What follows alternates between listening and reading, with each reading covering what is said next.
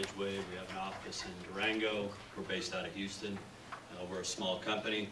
We've been in Colorado, um, in different areas of Colorado since the early 1990s in one form or another. Um, There's a lot to respond to.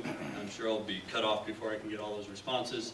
So I I ask, if you've signed up to ask a question, truly ask a question, and I'll try to answer it. Um, And I will try to get to a few notes I've made on every speaker. Um, I do appreciate being here tonight. I've tried to make every one of these that I've either been invited to or stumble upon.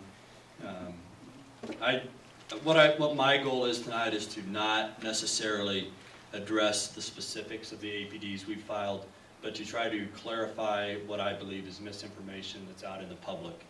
Uh, I'm not saying this misinformation is intentional, I just believe it's misinformation. And I ask you to objectively analyze based on the best information you can get.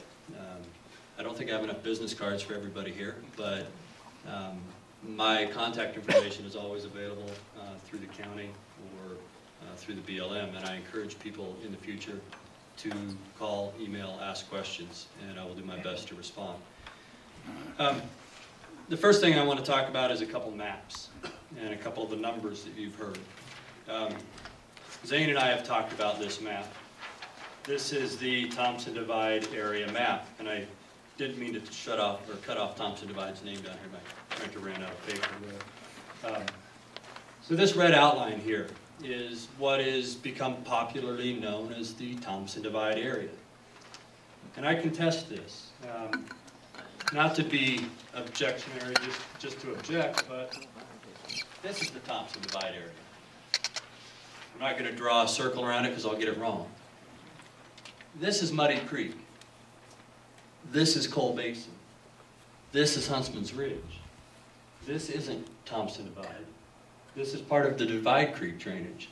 So I want to be clear about what we're talking about. We're not talking about a 200, we're not talking about a quarter million acre area that's impacted by our development. That's one of the numbers I contest and and I, and I continue to disagree with when it comes to talking to media or with certain groups. Um, The five APD, the six APDs on five locations we're submitting are all outside of the Colorado roadless area. None of them are inside the Colorado roadless area. The other numbers I contest are some that uh, Ms., that Peter brought up and some that I know the county has put in some of their documentation with the state. This idea that we plan on 720 wells on 180 pads or something similar to that.